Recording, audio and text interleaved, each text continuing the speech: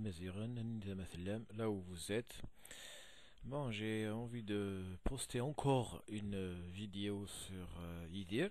J'ai déjà posté une vidéo. J'ai eu cette envie, euh, disons, c'est après que Meslir, quand j'ai appris la, mort de Mohamed Akr- Akroun, et qui est enterré donc à Casablanca, comme vous le savez. Donc euh, c'était émouvant, c'était un peu touchant, mais en même temps c'est bien qu'au moins c'est au Maroc ce n'est pas en France, hein, parce que le Maroc quand même c'est l'Algérie. Ça c'est touchant, mas euh, Maka, euh, un Kabyle, un grand penseur algérien qui a préféré être enterré au Maroc qu'en Algérie. Moi, je pense que ça, euh, il y a sûrement des raisons pour cela. Hum, C'est un penseur donc euh,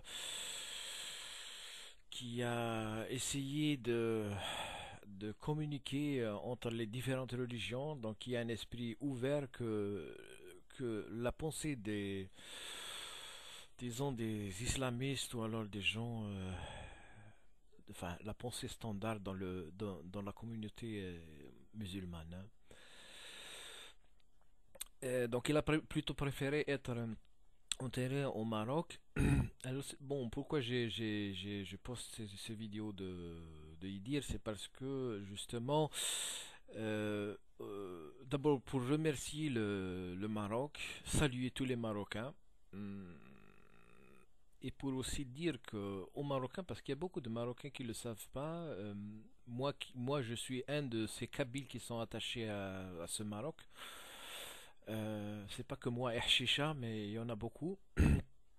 Et euh, ce qui était intéressant justement concernant Mohamed Akroun, c'est qu'il était toujours attaché au Maroc, comme Kabyle, mais, sans, euh, mais même Mouloud Maamri, qui est de même village que lui, Tmimoun, était, était toujours attaché au Maroc. D'ailleurs, le jour où il, est, euh, où il a fait la- l'accident, donc le jour où il est décédé, euh, il revenait du Maroc.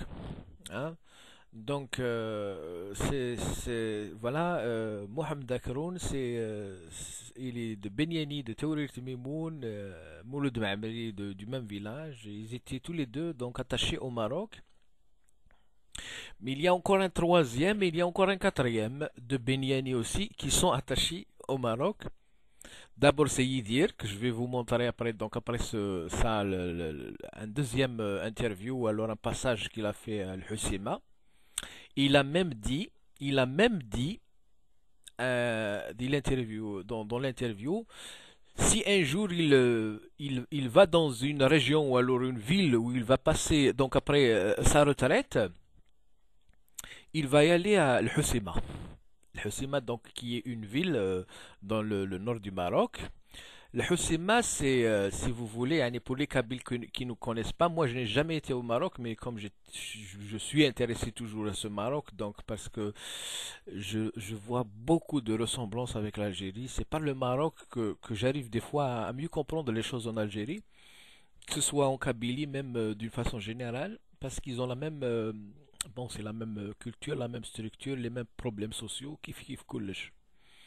Alors, euh, je vous ai dit, donc, le, le euh, pour les Lirifins, c'est Harifiyin. Comme nous, on dit Dharrouh al-Qbaïl. Alors, Ghorsen, chez eux, le Hussima, elle a un caractère qui est très semblable à Vgaïth chez les Kabyles. Donc, le Hussima chez les Rifins, c'est très semblable à Vgaïth chez les Kabyles. Et, c'est pour ça qu'Idir, il a dit justement que si un jour il va aller euh, passer sa retraite, euh, quelque part dans une ville, il, il va venir, il va aller à Al-Husima. Donc voilà, euh, lui, aussi a- il, est attaché à cette région du Rif. Et comme il a dé- déjà dit dans la vidéo que j'ai postée avant, que, pour lui, le Rif, c'est la Kabylie. Ça ressemble beaucoup à la Kabylie, et c'est vrai. Hein. Et un caractère vraiment, euh, il y a des ressemblances. Donc il y a quelques différences un peu de mentalité, mais il y a beaucoup de, de, de- ressemblances.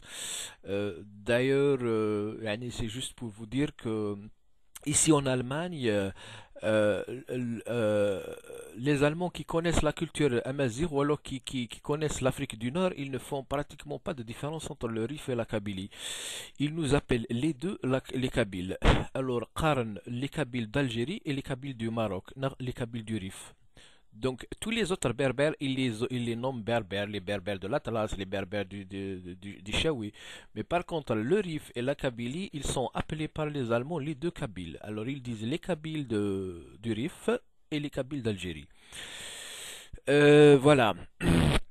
Donc euh, juste ce, passage, alors donc Idir c'est le troisième euh, de Benyani qui euh, qui est attaché au Maroc, mais il y a encore un quatrième, c'est bien Mehidine Khalef, le, le- le- donc le,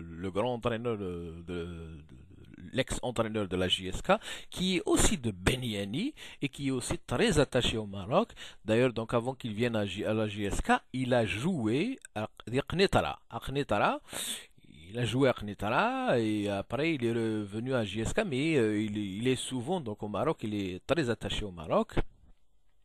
Voilà. Et je vous laisse donc aussi euh, regarder euh, le, le, le, film Guy, donc de Idir avec un interview. C'est un passage qu'il a fait El Husima. Euh, c'est très joli à voir. Et puis aussi c'est émouvant parce que et ça aussi c'est émouvant parce qu'Idir il est et, quand il va au Maroc, euh, euh, c'est pas, c'est pas, c'est pas seulement pour chanter en tant que, euh, il n'est pas considéré comme un, chanteur seulement. C'est pas pour, euh, c'est pas seulement pour eux, c'est pas seulement un concert qui est de musique, mais pour eux aussi c'est un messager de toute cette culture amazigh. Comme je ne sais pas si vous avez remarqué dans la vidéo que j'ai postée avant, où quelqu'un lui disait que il a été à Ifrane, ça c'était dans, dans l'Atlas, dans la vidéo que j'ai posté que je, postais hier. Euh, il y a des gens qui, il y a quelqu'un qui lui disait les gens pleuraient. Et c'est vrai euh, que les gens euh, euh, euh, pleuraient parce que c'est émouvant pour eux, parce que c'est quelqu'un qui, euh, qui est considéré comme un messager de, la culture euh, amazigh.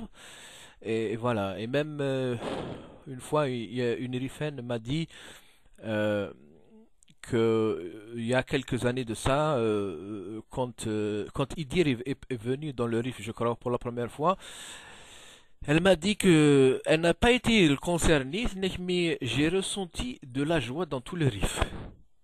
Donc imaginez-vous, Idir va dans le Rif, il y a une joie chez, tout le monde. Même si, même si les gens ne, n'ont pas, n'ont pas assisté à- au concert, mais le fait qu'il vient là-bas, ils se sentent, euh, c'est comme si, euh, c'est comme si vous voulez, il, euh, sa venue leur donne un sentiment euh, de, de- sentiment de valeur et ils ressentent leur valeur, leur identité qui n'est pas, qu'ils ne ressentent pas dans le, euh, donc le, dans, leur, euh, dans leur vie courante C'est-à-dire, يعني ما لا يروح ذينا يدير, il leur donne un sentiment euh, le moment né, leur- ils, ils se sentent euh, respectés, ils sentent leur identité, ils sentent la valeur de leur identité. Et ça leur donne de la joie. C'est pas seulement qu'au Maroc, mais même chez les autres berbères, ça j'ai juste voulu encore le dire en plus, parce que nous les Kabyles, on n'a pas ça. C'est-à-dire que nous, on, Yidir, on le considère comme un chanteur, comme tous les chanteurs kabyles, parce que tous les chanteurs kabyles chantent sur l'identité, sur euh, la mazérité, etc. Mais par contre, les autres berbères, pour eux, Idir, il, il est plus que ça, un, chanteur, c'est un messager, c'est quelqu'un qui vient aussi leur donner pour un moment, même si les gens n'assistent pas à ces concerts, il leur donne euh, un moment de joie, et ce moment de joie, c'est la joie de, se, re- de ressentir la valeur de leur culture, de leur identité. Voilà, je vous laisse encore euh, euh, avec deux petits témoignages de Kerim Tabou, donc le secrétaire euh, général euh, de, du FFS. Donc lui aussi, il va exprimer euh, comment il se sent au Maroc, surtout comment il se sent au Maroc par rapport à la Tunisie. Et un petit témoignage aussi de Takfarines. Voilà. Je voudrais ajouter encore juste quelque chose. c'est que c'est pour dire aussi, d'abord, donc on remercie les, les, Marocains, saluer tous les Marocains, mais c'est aussi pour dire que aux Marocains que euh, il y a beaucoup de Kabyles comme ça qui sont euh, attachés euh, au Maroc, qui aiment le Maroc. On est plus lié au Maroc que la Tunisie, qui ne veut pas dire que nous n'aimons pas la Tunisie, mais les Kabyles, je suppose qu'ils sont plus attachés, plus liés, ils se sentent plus liés au Maroc. parce que je suppose que comme Mohamed Akroun, qui était donc un penseur surtout qui qui travaillait donc dans la communication entre les religions, il trouve, je suppose qu'au Maroc, il y a une certaine ouverture d'esprit, surtout concernant les autres religions, qui n'existent pas, qui n'est pas, je veux dire, c'est pas, pas tous les Algériens qui n'ont pas ouvert d'esprit, mais qui n'est pas, euh, qui n'existe pas de, cette forme en Algérie.